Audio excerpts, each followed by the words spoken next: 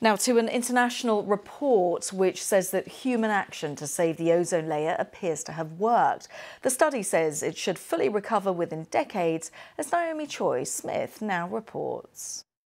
The ozone layer, a thin shield that protects us from the sun's harmful ultraviolet rays, damaged and depleted by chemicals released into the atmosphere.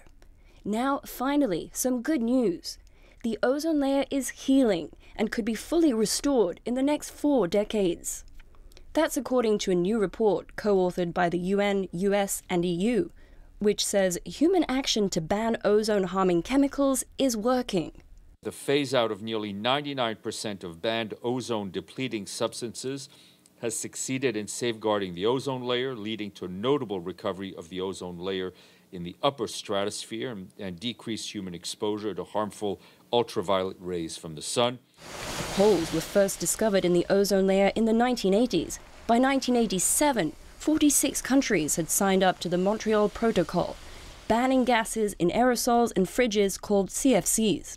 They were destroying the ozone, letting through harmful ultraviolet rays that can cause problems like skin cancer. But while the depletion of ozone is not a major cause of climate change, saving the ozone layer does have a positive knock on effect on global warming, because some of the chemicals that were phased out are powerful greenhouse gases. The report says the ozone layer should recover to 1980 levels by roughly 2066 over the Antarctic, by 2045 over the Arctic, and by 2040 for the rest of the world. There's always the risk that progress could be reversed.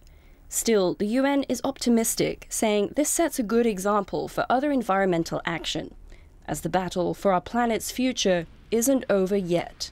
Naomi Choy Smith, BBC News.